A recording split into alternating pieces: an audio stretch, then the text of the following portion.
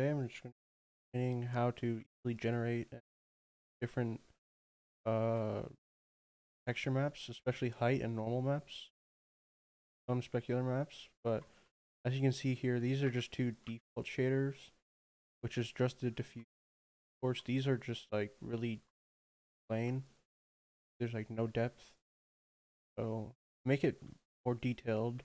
What I'm going to be doing is using this free uh, program called Materialize. The link in the description. How it works is just load the diffuse texture in and you can create and modify different texture maps. Once you open up the program, you're going to go to the diffuse map, click the O, then you're going to input the texture. Put it texture in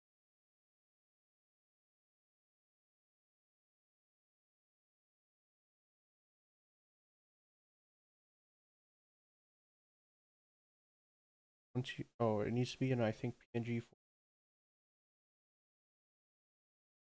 Open this in Photoshop and save it as PNG.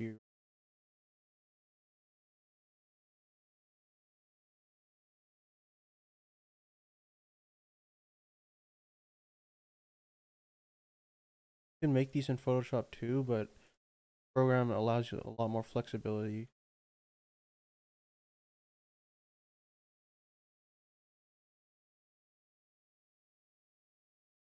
You have this saved as PNG, go ahead and open it up. Here you can get a 3D view of how it'll look. Firstly, what we're going to do is start off with a height map. So click create, and it'll split the texture in half. We're just going to be playing with these values until you get something you like.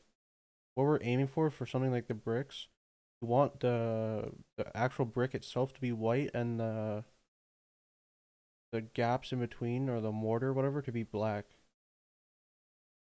Play around with these values so you get something that looks pretty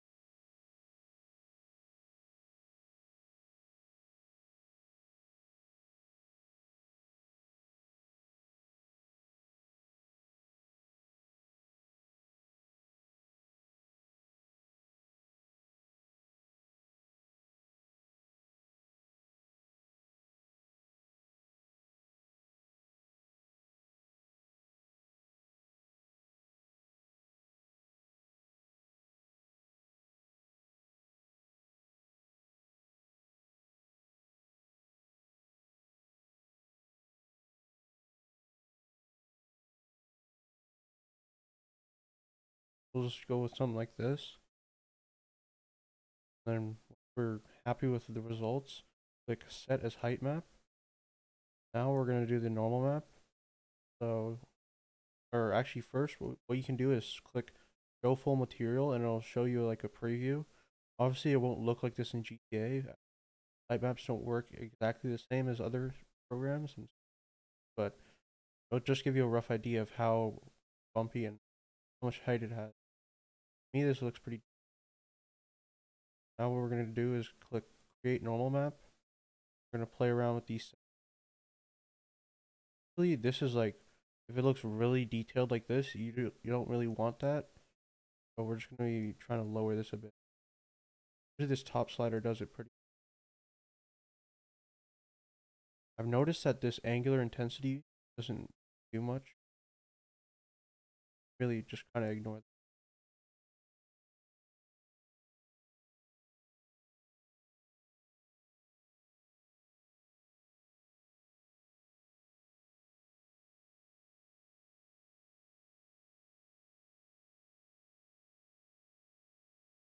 you're happy with the result, something like that is normal map. And then lastly, we're going to do the specular map. But really, you can just click on the uh, metallic map. It's pretty much the same thing. Just call it a different. So now we're just kind of want to aim something like the height map, just a little different.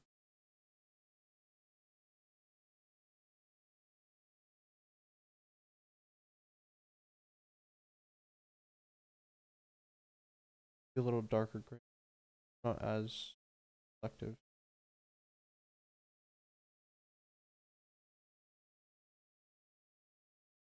once you're happy with the results, of this set as metallic. Then what you can do is just change the format up here to PNG.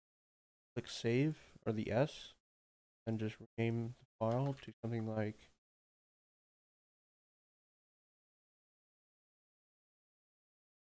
and it'll save into the same folder that you uh, opened the original diffuse texture in. Or you can change it, but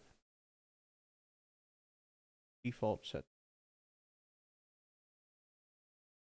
And now that you have all your textures saved, what you can do is minimize out of Materialize and go back into Blender. As you can see, we don't want to use the default uh, shader. Well, I only did the brick one, so I'm going to keep top uh, default. What I'm going to do is remove this. Actually, what I'm going to do is not remove it, but create a new normal spec underscore pxm. pxm is basically any shader with pxm. Use height maps. We're just going to go ahead and create.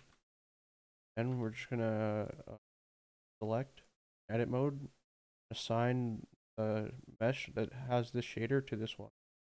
And we can just remove the old one. Now we can just go ahead and assign our textures. I copy the file path. Put in the textures. So it goes diffuse, specular, then normals down here. Then up here to the right is the height map. Now lastly, pretty much all you have to do now is just play around with the values. So go to material, then go to Sollumz tab and then values. What I usually do is change the specular fall off to 128. This is mainly for bricks, but for different uh, materials you would probably change it a bit, but I change a specular Fresnel to 0.97, the specular intensity to 0.3, and the bumpiness to 2, the height scale to 0.3. Lastly, the height bias to 0.3 Then you're pretty much good. And now, if you want, you can either use it YTD or tech. I mean, use it YTD or embed it. I'm just going to embed it for this example. We're just going to uh, rename this something. Try embed this other. I'm just going to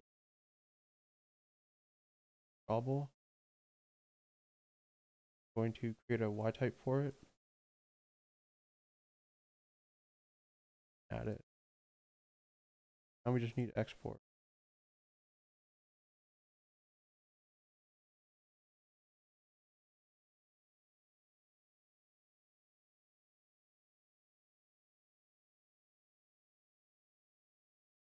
As you remember before earlier, we used uh, we saved the textures as PNG.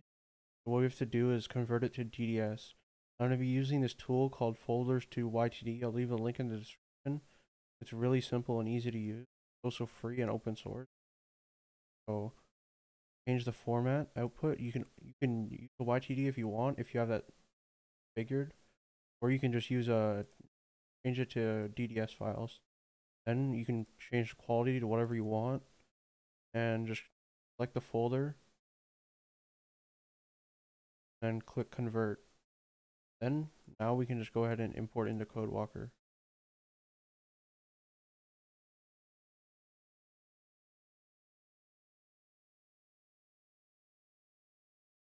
RPF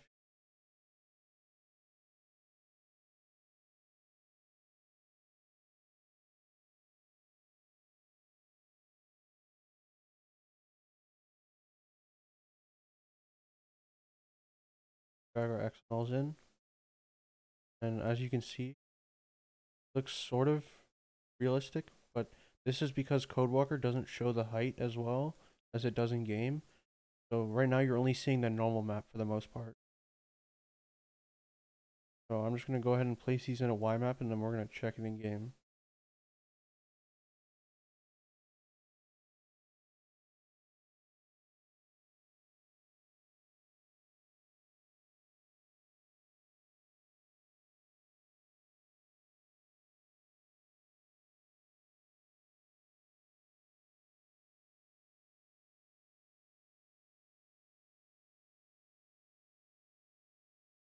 and map file. And place the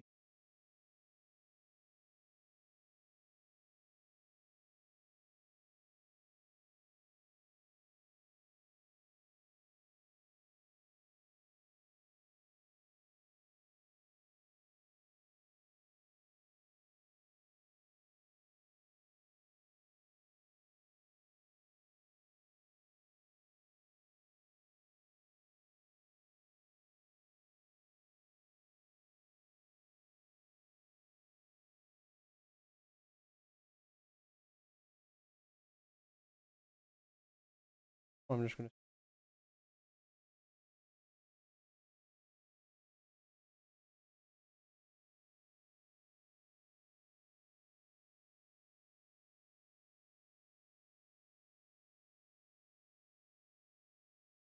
um, uh, generate a manifest.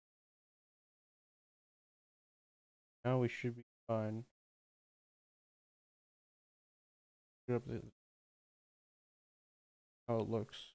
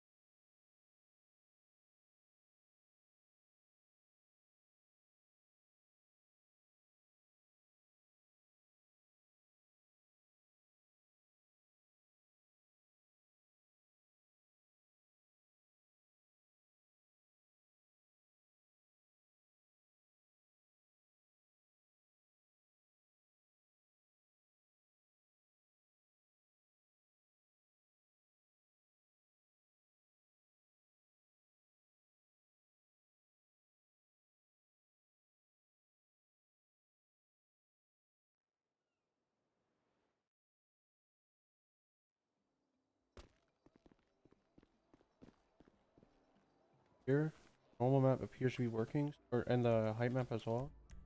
It works differently at different times. Here, as the light is shining on it, you can see it a lot better. In here, for example. Here, if you on the side, it's completely flat, but if you look like head on, like almost 3D. Let me know if you need any help in the comments, and I helps you out.